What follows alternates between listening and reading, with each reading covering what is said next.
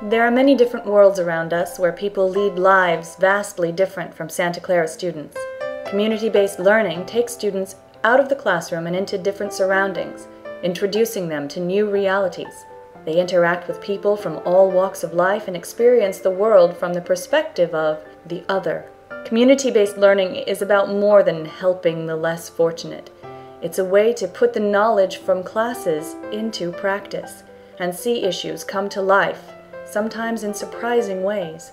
Students work with children in preschools for low income families and tutor high school students to help them prepare for college. Some will be the first in their family to have that chance, Psychology students may work at clinics for the mentally ill. Law students can work in local legal clinics. Business students have traveled to El Salvador to make microloans to entrepreneurs. Engineers help develop ways to provide villages with clean water.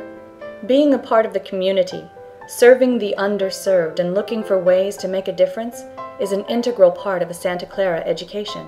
And although it can be difficult to confront some of the issues, these experiences are rewarding, meaningful, and most students would say, fun.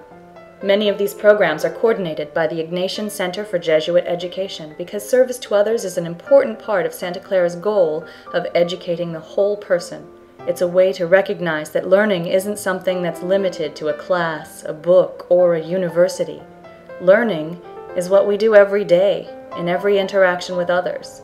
And when we reflect on those experiences, students and faculty together, with members of the community, we inspire one another to work toward a more humane and just society for all people.